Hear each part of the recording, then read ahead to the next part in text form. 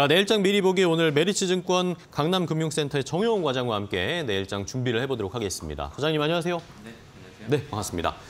자, 오늘 시장 일단은 좀 흔들렸습니다. 네. 코스닥이 뭐 하루 만에 단숨에 또 900선이 무너지면서 내려갔는데 자, 오늘 시장 어떻게 보셨고 내일도 이런 흐름이 흔들림이 좀 나타날까 어떻게 보세요? 아, 네. 우선 지금 우선 환율이 지금 1,320원대를 네, 돌파를 올라왔어요. 하면서 지금 이제 외국인 수급 부담에 대한 그런 좀 우려감이 좀 높아지고 있는 그런 상황인데요. 오늘 특히나 코스닥 시장에서 아, 외국인 투자자들의 좀 매도세가 좀 거세게 좀 나오면서 오늘 코스닥 시장이 상대적으로 좀 낙폭이 좀 큰 모습이 좀 나타났습니다. 아, 물론 이제 이제 환율 영향으로 인해서 외국인 이제 아, 수급 영향이라고 볼 수도 있겠지만 또 한편으로는 역시나 뭐 LNF를 비롯한 2차 전지주들이 좀 특히나 이제 오후장 들어서 좀 이제 하락기 낙폭이 좀 커지면서 어, 관련해서 시가총액의 좀 많은 상당 부분을 차지하고 있는 상황이어서 좀 2차 전지주들의 좀 하락이 2차 전지 대형주들의 하락이 코스닥 아, 시장 좀 하락을 좀 이끌었다라고 볼 수가 있겠습니다. 어, 아시다시피 어제 이제 미증시 같은 경우에는 약보합에서 마감을 했는데요. 그렇지만 장마감 이후에 이제 실적을 발표한 아, 테슬라의 아, 테슬라의 주가가 시간외로 어, 크게 좀 하락을 하면서 전반적으로 오늘 2차 전지주들의 좀 투자 심리가 좀 위축이 됐다라고 볼 수가 있겠고 여기 또 LNF 같은 경우도 교환 사채 또 이슈까지 좀 더해지면서 오늘 낙폭이 좀 확대가 되면서 전반적으로 시장에 또 투자 심리가 아, 좀 악화된 아, 그런 모습이 나타났다라고 볼 수가 있겠습니다. 아, 특히나 지금 최근에 시장을 보게 되면 반도체라든지 이 2차 전지주 쪽으로의 쏠림 현상이 상당히 좀 강하게 나왔었는데 역시나 내일장 같은 경우에는 과연 이제, 반도체 2차 전지 쪽으로 다시 계속해서 이 쏠림 현상이 이어질지 아니면 어, 이쪽에서 좀 매도 매물이 나오면서 기타 다른 업종 종목군들로 수급이 좀 이동할지 좀 여부가 좀 중요하지 않을까 싶은데요. 어, 지금 시점에서는 사실 지금 박스권 상단까지 이제 어, 주가 지수는 지금 올라온 상황에서 네. 어, 현재 시점에서는 좀 매크로적인 부분보다는 역시나 개별 업종 또 종목 장세가 계속 펼쳐지고 있습니다. 또 순환매도 계속해서 아, 도는 그런 또 흐름이 나타나고 있고요.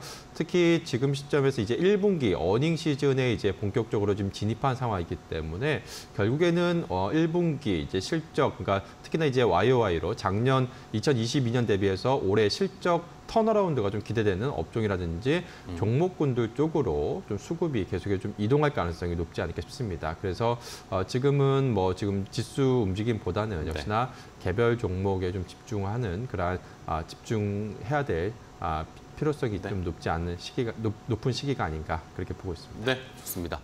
자, 결국에는 많이 올라왔던 2차 전지 주들, 소재주들이 결국에는 한번 오늘 조정을 받았습니다. 과연 이런 추세가 어떻게 이어질지 다시 2차 전지로 들어올 것인지 아니면 다른 업종으로 갈아타게 될 것인지 여부를 좀 체크를 해봐야 되겠고요. 자, 그러면 이제 내일 시장 또 이제 뭐 다음 주도 저희가 길게 보면서 어떤 업종을 좀 살펴봐야 될지도 힌트 좀 주시죠. 아, 네, 앞서 말씀드렸던 부분이 이제 올해 이제 실적 turnaround 주가 좀 네네. 주목을 해야 되지 않을까 그렇게 말씀드렸는데 그 대표적인 업종 중에 하나가 좀 화장품 섹터가 아닐까 싶습니다. 음, 특히나 네. 이제 또 광- 어, 범위를 좀 넓혀 보자라고 한다면 역시나 중국 reopening 이제 수혜주들이 어, 올해 어, turnaround를 좀 기대해 볼 수 있지 않을까 그렇게 그렇죠. 보고 있는데요. 음. 뭐 아시다시피 최근에 이러한 중국 reopening 관련주들 면세점이라든지 뭐 화장품이라든지 이런 관련주들이 최근에 흐름이 상당히 좀 좋았습니다.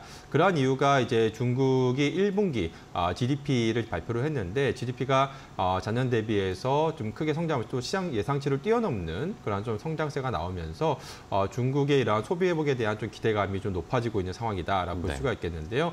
어, 그래서 지금 현재 어, 중국의 reopening 속에 중국의 경기 소비재 소비 판매가 소비 판매 성장률이 반등세를 좀 보이고 있다는 점은 어, 2분기 실적에 대한 좀 기대감이 좀 높아질 수 있는 근거가 되지 않을까 아, 그렇게 보고 있습니다.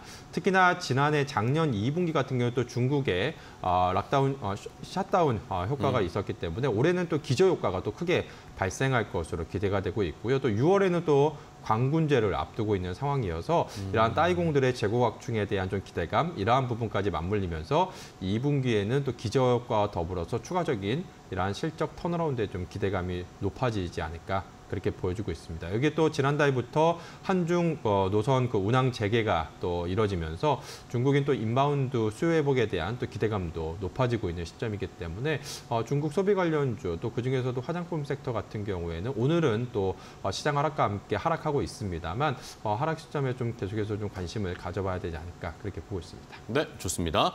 자, 화장품주들도 저희가 한번 잘 지켜보도록 하겠고요. 이제 마지막으로 내일 시장이 또 어떻게 출발할지 도 궁금한데 오늘의 하락에 반등이 나올지 아니면은 추가적인 하락이 나올지 요 여부를 체크해 봐야 될 텐데 그렇다 그런 것 때문에 저희가 시초가에 공략해 볼 종목도 좀 잘 봐야 될 것 같아요. 아, 네, 시초가에 좀 공략해 볼 종목도 역시나 이제 중국 reopening 관련한 종목에 네네. 대해서 좀 선정을 해봤는데요. 역시나 중국 아, 모멘텀이 좀 강하게 나타날 가능성이 높은 아, 대표적인 이제 중국 또 아, 관련주 중에 어, reopening 관련주 중에 하나인 바로 이제 파라다이스를 파라다이스. 아, 오늘 선정을 해봤습니다. 오늘도 어, 장중에는 좀 주가가 하락을 하다가 오후장 들어서면서부터 주가가 어, 지금 반등을 하면서 지금 거의 뭐 보합권 수준까지 지금 올라와 있는 네네. 상황인데요. 최근에 수급 동향을 보더라도 외국인 투자자들의 꾸준한 또 매수세가 좀 유입이 되고 있다는 점에서 어, 좀 주목을 해봐야 되지 않을까 싶습니다. 무엇보다 지금 어, 파라다이스 같은 경우에는 어, top line이 지금 회복이 되면서 1분기 흑자 전환이 좀 전망이 되고 있는 그러한 상황이고요. 특히나 지금 이러한 실적 개선세가 이제 작년 하반기부터 본격적으로 지금 일본 그 VIP 드랍액이 회복이 되면서 지금 거의 뭐 어, 사실상 2019년 즉 이제 코로나 이전 수준까지 완전하게 좀 회복이 된 상황이기 때문에 이러한 일본인 VIP 드랍액 회복만으로도 지금 실적이 지금 급격하게 지금 개선이 되고 있는 상황입니다. 여기에 추가적으로 2분기부터는 이러한 아, 중국인 어, VIP 드랍액까지 회복이 된다라고 한다면 어, 향후에 좀 어, 가파른 그런 실적 턴어, turnaround도 기대해 볼 수 있지 않을까 그렇게 보여주고 있는데요. 어, 그렇다라고 한다면 지금 시점에서는 오히려 계속해서 주가 좀 바닥권에서 주목을 해봐야 될 시점이 아닌가 아, 그렇게 보여주고 있습니다. 특히 지금 현재 중국인 inbound 고객은 아직까지 여전히 지금 네. 일본 대비해서 아직까지 좀 미미한 수준의 지금 성장세가 지금 나타나고 있는 상황이기 때문에 어, 이제 2분기부터 본격적으로 특히나 이제 지난 1분기 같은 경우에는 아, 중국이 이제 코로나 코로나 여파가 아직 좀 어느 정도 마무리가 되지 않으면서 본격적으로 해외 여행이 지금 시작됐다라고 볼 수는 없는 부분이기 때문에 지금부터 이제 2분기부터가 이제 본격적으로 좀 주목해야 될 시기가 아닌가 아, 그렇게 보고 있습니다. 네, 좋습니다. 자, 그렇다면 파라다이스 가격 전략도 좀 체크를 해보겠습니다. 오늘 말씀해 주신 것처럼 약보합권까지 좀 선방을 했는데 어떻게 접근할까요? 네, 최근에 뭐 주가 흐름 보시면 지금 한 15,000원에서 16,000원 부근에서 최근에 계속해서 한약한 2개월 정도 동안 주가가 좀 바닥권을 좀 다지는 그러한 좀 모습이 좀 나타나고 있습니다. 그래서 오늘도 지금 한 16,000원대에서 지금 장중에는 하락을 하다가 어, 주가 좀 저점을 좀 높여가면서 거의 뭐 보합권까지 좀 올라온 그러한 상황인데요. 그래서 지금 한 15,000원, 16,000원대 부근에서는 어느 정도 주가가 이 저점에서 하방 경직성을 좀 보유한 그런 시점이 아닌가 싶습니다. 그래서 어, 현재 시점에서 매수를 한다라고 한다면 한 목표 주가는 한 2만 원 정도 선까지 좀 열어놓으면 좋지 않을까 싶고요. 마지막으로 손절 라인으로는 최근 아, 20, 52주 가장 최저가 라인이라고 할 수 있는 한 15,000원 선 부분이 이탈되지 않는 선에서 지금 한 16,000원 가격대다라고 한다면 충분히 한번 아, 매수 관점으로 좀 보시면 좋지 않을까 싶습니다. 네, 알겠습니다. 자, 이렇게 파라다이스까지 내일 시초가에 공략해 볼 만한 종목으로 reopening 관련 종목들을 쭉 소개해 주셨고 업종까지 한번 살펴봐야겠다라는 의견을 주셨습니다. 자, 일단은 오늘 낙폭이 크게 나왔지만 내일 시장에 좀 반등을 기대를 해보면서 오늘 또 정영훈 과장과 함께 이야기 나눠봤는데 오늘 좋은 시장 전망 또 종목 소개해 주셔서 감사하고요. 다음 시간에 또 뵙겠습니다. 과장님 고맙습니다. 네, 그렇습니다.